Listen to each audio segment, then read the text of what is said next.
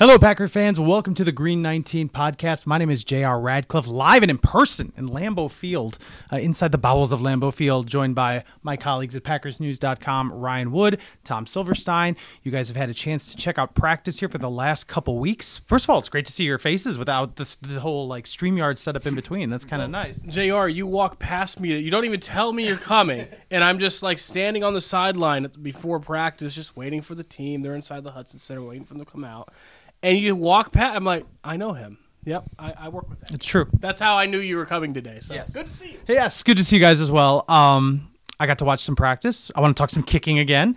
Uh, I want to talk just in general what we've seen the first two weeks. Family night is coming up this weekend.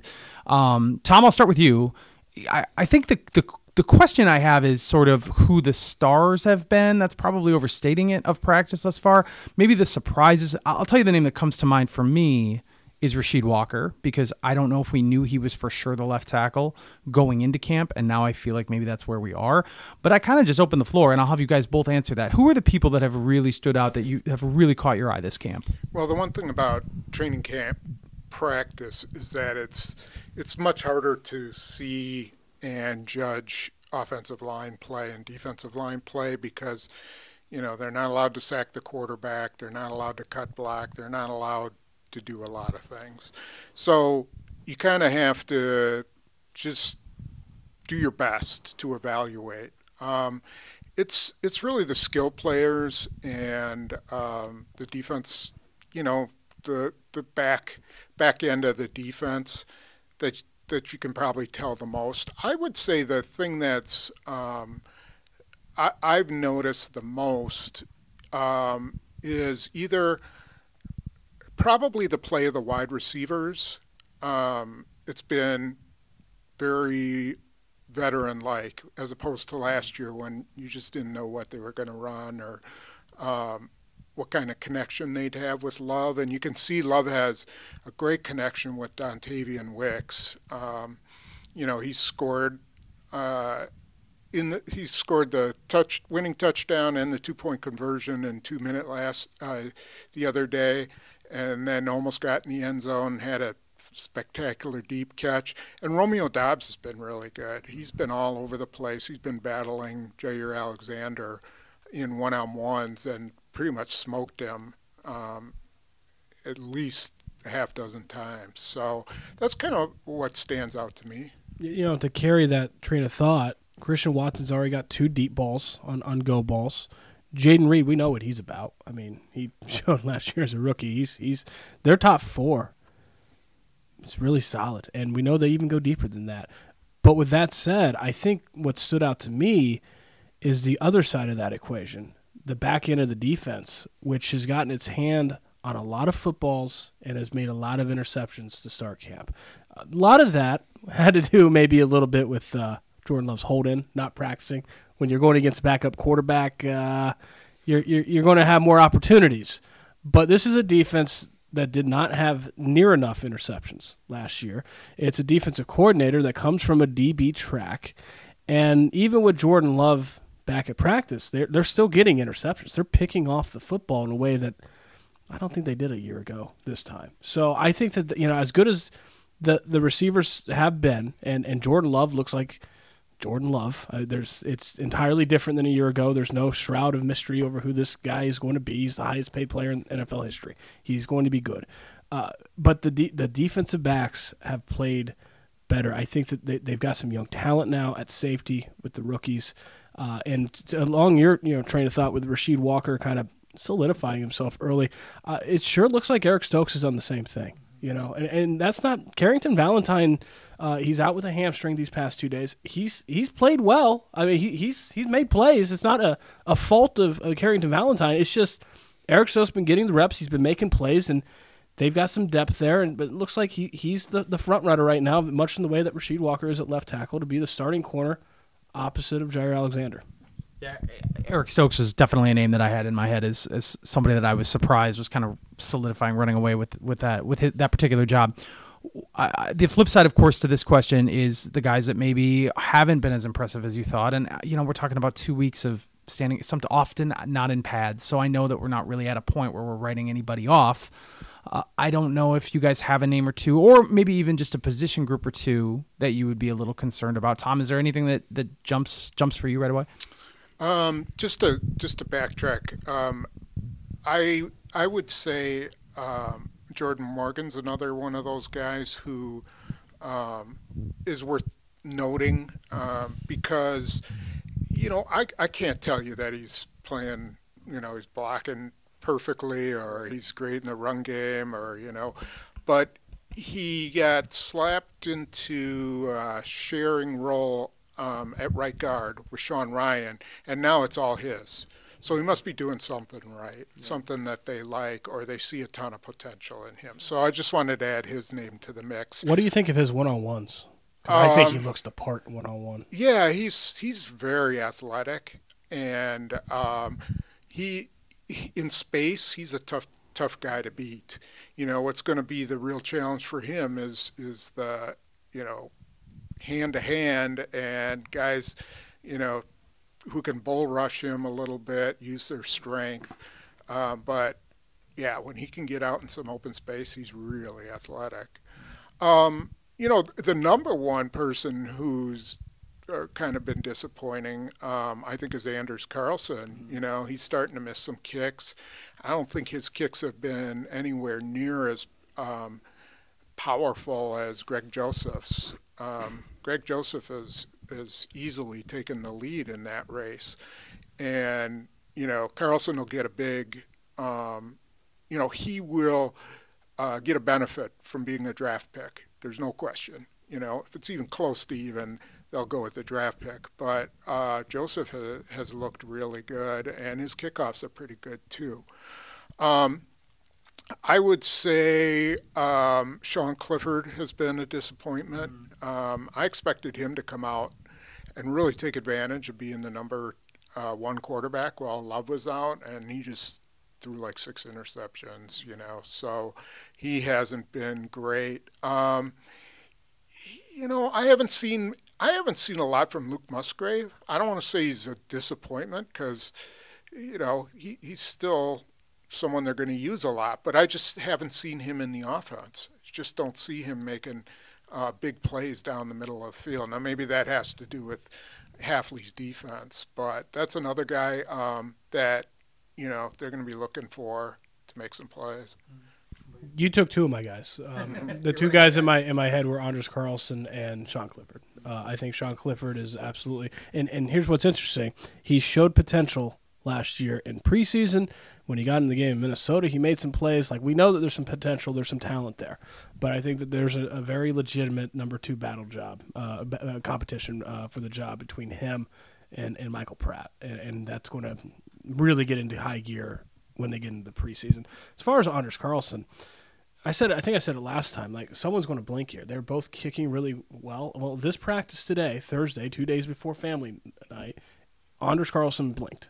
This was the first time that we saw one of them kind of have a stumble, a significant stumble. He was three of six today. All three of his misses, importantly, pulled to the left. And Anders Carlson said last year that was his issue. Uh, and and I feel like if this is a year ago in camp, and he has a day where he misses all three to the left, that's not the worst thing because you, you can fix that, right? Like you, you know what the issue is. It's a consistent issue. Go out and fix it. But at what point is a consistent issue just a permanent issue? Because if it's continuing to be a problem, him missing kicks to the left, it's been a year. And he's 24 30 in camp. On its own, that's 80%. It's okay. It's not good, but it's not terrible either. On It's not like he's kicking miserable in, in camp. If he had a respectable rookie year, he had no, let's say hypothetically, he had no competition in camp right now. He's just 24 30. Like, okay, it's a bad day. He'll be, yeah, he'll be fine. He, he showed something last year. He'll be fine. But he didn't have a respectable rookie season. He had a terrible rookie season. And he has competition in, camp. In that competition, Greg Joseph is now 28 of 30 on kicks. I don't know what defines close and what not. And, and, I totally agree with you, Spoon. If this is close, it's the draft pick. I don't know what's close and what's not close, but 28 and 30 and 24 30 are not the same. So I think family night's going to be a, a, big, big moment in this kicking competition. The preseason games, obviously, as well. But Greg Joseph has a lead right now. Yeah, just just subjectively, you you look at it, and his kicks are better off the. Uh, That's exactly hold. how I see it too. Yeah. You know, powerful, um, high over the net or high into the net. He almost never just hits the net straight on. He's got really um, he he out kicks the net in most Yeah.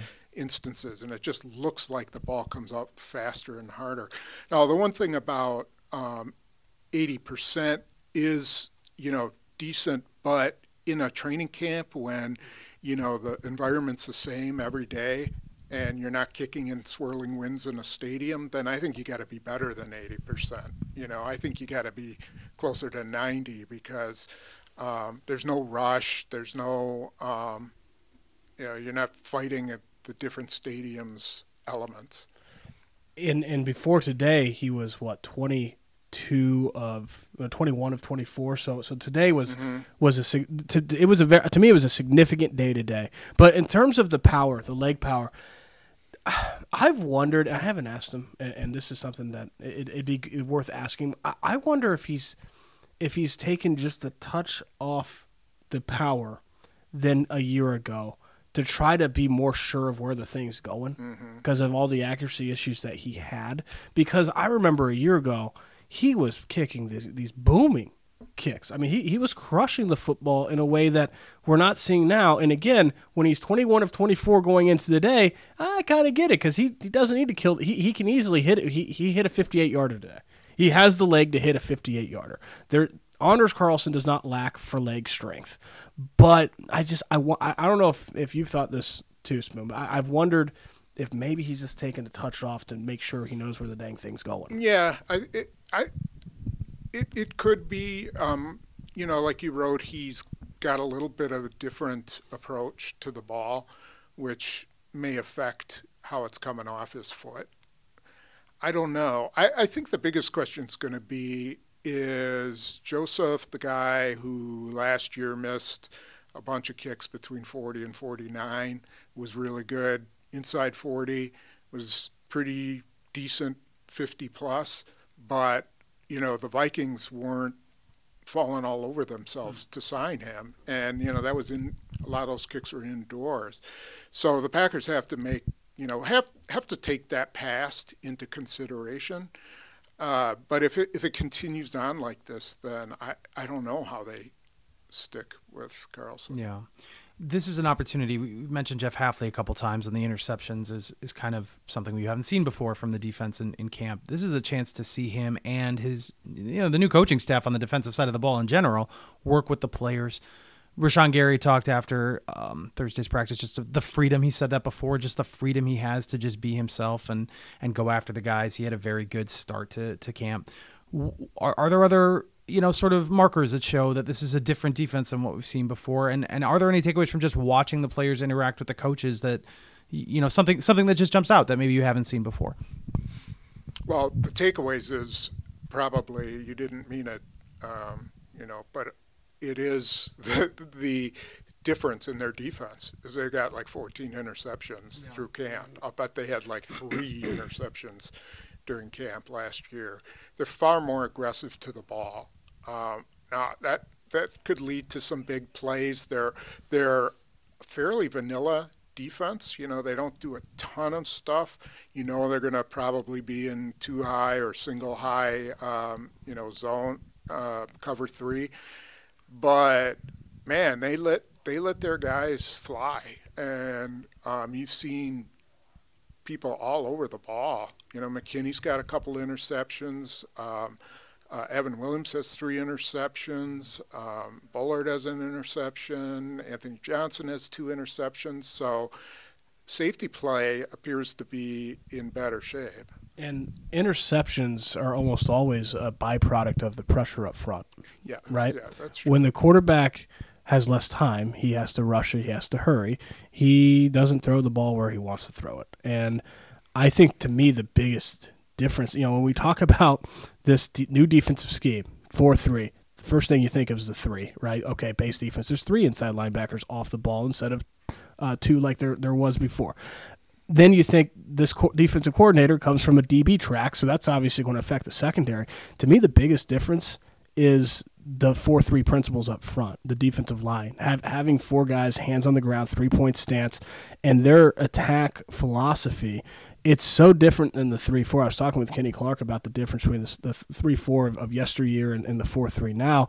And he said he said something I hadn't even thought. He said, you know, it basically our formationally we were a four two five, right? We were a nickel defense just like every other team. So we were a lot closer to a four three formationally than a 3 4.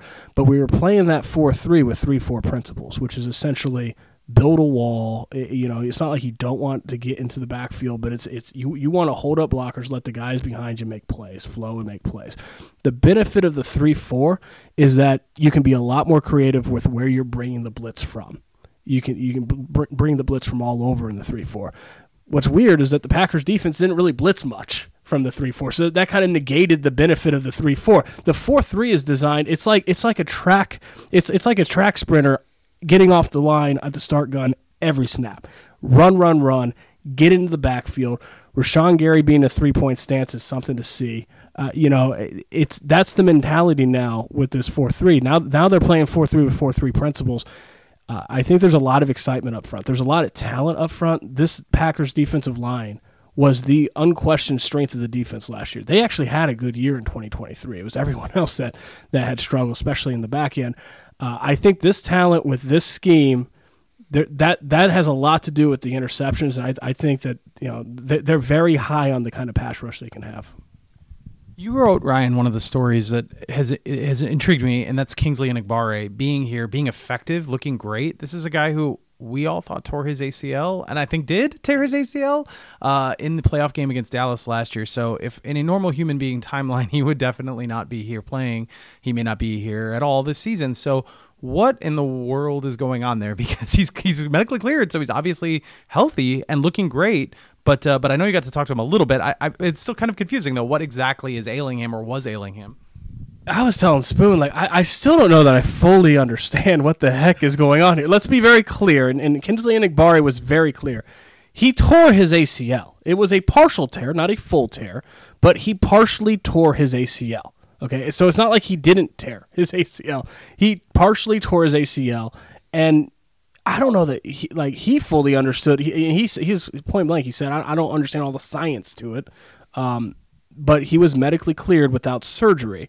And even when the doctors told him that, Kingsley Enagbare said like he, he was there were some nerves. Like really, because like if you know anything about football, you know that a torn ACL means knee surgery and you're out a year. Like that's just automatic. It is absolutely automatic. That's what happens. Spoon, have you ever have you ever seen an A- you've covered the league a lot longer than me. Have you ever seen an ACL tear that didn't result in surgery? I I can't think of one. Um, I remember Garrison Hearst played without an ACL, yeah. like he didn't have one or something like that. I can't remember. Yeah, but no, I can't. I can't remember an ACL that wasn't repaired. Yeah, I know. I haven't seen it. So Kingsley and Enagbare says that uh, the doctors have cleared him medically. He's no more at risk of needing knee surgery than anyone else. He can play on it. He does require daily maintenance. His hamstring, his quad, his calf every day he has to build the muscles there to be able to support the knee because again there is a torn ligament in that knee uh, it's just something that he can play on and so if you don't need the knee surgery and kill a year of your career sure why why why not go that route you know that's kind of where they're and, and he feels that he, he there, there's no guarantee it's going to hold up, but he feels he's doing everything he can for that to. you know, he had uh, on Wednesday he had a sack, he had a PBU on Jordan Love. Uh, he is a really important player to this defense. He is the type of, of player that, that fills out the depth of a roster at a premium position. He's not a star. He's not going to, you know, he's had five sacks in two years. But having that type of uh, a, a, a playmaker at a premium position at, in a backup role, uh, it, it's important. I, they, they absolutely, as Matt LaFleur said this offseason, they dodged a bullet there. I lost my train of thought for a second. I'm a little worried about the streak of undrafted free agents making this team because they have so many guys spoken for, so many spots spoken for. Obviously, it was a very young team. They've had two massive draft classes back to back. There's a lot of there's a lot of bodies in camp that you kind of know they're going to make the team. Uh, as we get into family night, as we get into the the preseason, are, are there are there guys that Packer fans should watch for? Like, or or is this is this it? Like maybe it doesn't happen this way. Wow, that's a great question. I, I wish I had my roster with me. um, whew. is there someone who's undrafted? Um, no, not not from this class. Um, you know, there are some from previous classes, like Emmanuel Wilson Of could course, make the yep. team. Joel Wilson, the tight end. Who? Malik Heath. Oh, yeah, he yeah, can yeah. Um, I mean, Peter Bowden as the long snapper has been cut and returned, so at least they like him to he's- some degree. He's a but- possibility. Um, although Orzech has been snapping Solid, yep. much, much better. Um, man, that's a hard one. Thinking of o- offensive linemen, usually they, they find somebody, you know, like a Caleb Jones or something like that. But they are so so deep and they keep adding such so many draft picks that Mm-hmm. I don't know. There's w- one guy who's really aggressive and I want to see in live action um, is uh, I think it's Raphael Goforth. He's a uh, inside linebacker. Okay. He just throws himself. He, he's undersized, you know, but he he's like a missile out there. So it'll it'll be interesting to see if he can do anything. Um, I was going to say Kalen King, but he's a draft pick. Yep, seventh rounder, sure. Um, yeah, I don't think it's going to happen, Spoon. That streak could be broken. Yeah. Yeah, it really could. Because because here's uh, I think Peter Bowden might have the best chance, and I don't think he's going to be Peter Bowden as a long snapper. I think it's going to be Matt Orzech. So Yeah. I, I, the, the problem they have, well, it's a good problem, is even their practice squad guys from next from Yeah. last year are somewhat impressive. You know, like Grant DuBose Yeah. is on the practice squad, and he's made some really nice plays and has a chance to make the roster. Um, you know, these guys, uh, they, they just have too much um, for those guys to to make the 53. But you'll see them on the practice squad. Yeah. All right, let's go from the bottom of the roster to the top because we have seen now a week of Jordan Love, and uh, we last time we podcast we hadn't seen him. He had just signed his his massive extension. What are your thoughts there? I mean, I think it's it's obvious that the offense is better with him than you know than without him, but um, you know it isn't like the offense is overwhelming the defense. We've been talking about the interceptions, so just in terms of what you've seen from him, Spoon, what uh, what what's your early you know prognosis there? Well, I'll tell I'll tell you what the biggest difference, you know, with Sean Clifford and Love was uh, Clifford, you know, reacting to some of the pressure, had to find throwing lanes, you know, had to move around and even just in the pocket to be able to deliver the ball. Jordan Love can throw over pressure. So, you know, if, if Kenny Clark is, is pushing the center back, he's still got the ability, you know, at six five um, with that long arm, he can he can throw it over the top. He can throw. He has uh, numerous arm angles that he uses too. So if Kenny Clark's in his face and and he needs to throw it with you know a 40 degree angle, he can do that too. We saw with the um, Dontayvion Wicks touchdown yet on Wednesday. He pretty much sidearmed that ball to get it in the middle. So he he reacts and handles pressure so much better. Um, he's he's really good at reading the rush, I think, too, and gets rid of the ball. So the the big thing, um, you know, he, he's thrown a couple interceptions. He's um, probably now starting to hit his groove. You know, it's been a full week now, and I would guess that um, you know now we'll see maybe even a little better performance. You know I'm old enough, Spoon, to remember Matt LaFleur begging Jordan Love to let it rip. Uh, he doesn't have to do that anymore. Yeah. He lets it rip now, and the, it, the, there's there was a, I think it was uh, an individual drill. So uh, he was he was rolling, and uh, he the t- the torque that he puts on the body. He made an out route to Jayden Reed, and I, I think it was uh, in Indy. He made an out route um, ball to Jayden Reed on the right sideline, and the torque like. It- It's he just he lets it rip in a way that he he, he didn't early in his career, and it looks more confident. Like he just has more confidence than he had, where where he can he can just really let let his arm go. Um, he knows where it's going. Uh, as far as the interceptions, look, he closed last year with last regular season with 18 touchdowns and one pick. I'm not too worried about the interceptions in, in July and August. Uh, I think it's kind of silly, and I've had you know some some Packers fans on my on my feed kind of like uh, freaking out about the interceptions. Like this is a fan base for for the longest time with Aaron Rodgers that said, "Boy, force it in there more, make more plays. They never throw interceptions. Mean, chance it, you know, make more plays." I feel like that's what Jordan Love is doing now, where he, you know, he, he'll use practice to stretch the boundaries of what is possible. And he might throw a pick in practice because of it, but that's what you, that's what you use practice for. Mm-hmm. So it's almost like the flip side of it. And no, I'm not going to. I, I don't see any reason to freak out about Jordan Love's picks. Uh, we've seen in the regular season his first year as a starter, he, he takes good care of the football. Yeah, he, he's not afraid to um, dump the ball over the middle, you know, which right. Rodgers did not like to do because it risked an interception yeah, going off the yep. running back's hands. He he he likes to throw right in the middle. If a guy, a wide receiver, sits down five yards out, he'll take that. he did that with AJ Dillon, and I can't remember which drive it was um, on Thursday, but you know he could have looked, you know, downfield. It was third and like eight, and he dumps it to Dillon, and sure enough, he was wide open, yeah. and you know he got the first down. So I just think he's um, like there's no there's no obsessions in his game like. Hmm. That he has to throw two interceptions, or else he's a failure. Yeah. You know, I think he's I think he just is playing the quarterback position. Similar to the question about the undrafted guys goes back to a conversation we had on the last podcast about they have some salary cap relief now and could theoretically add when cutdowns roll in or even, you know, via other means, via trade or whatever. Do you I know it's only been a week, like do, do you still feel like that's a possible route for them. And there's a position group out there where they could really add somebody of, of, considerable note, given the fact that they have this freedom to do so now.